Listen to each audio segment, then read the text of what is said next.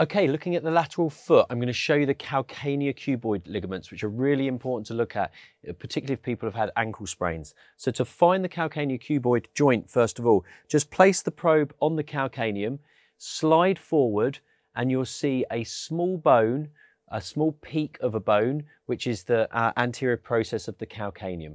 Now, if we slide down, this is the calcaneocuboid joint, you can actually see a small ligament going over the top there, which is the calcaneocuboid ligament. Now, the other bit that you really need to look at is if you just slide the probe up, you will see, and you can see there's a little bit of fluid here. We're looking now for the lateral band of the bifurcate ligament, and we can see that coming from the anterior process of the calcaneum, and we can see it attaching over here onto the cuboid. It's nicely outlined because he's got a little bit of fluid coming out of there.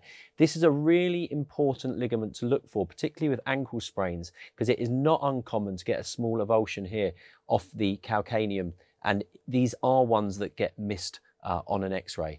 If you like this video, make sure you make a comment, you can subscribe and join our membership if you want to get many more videos like this, which is going to really help optimize your scanning.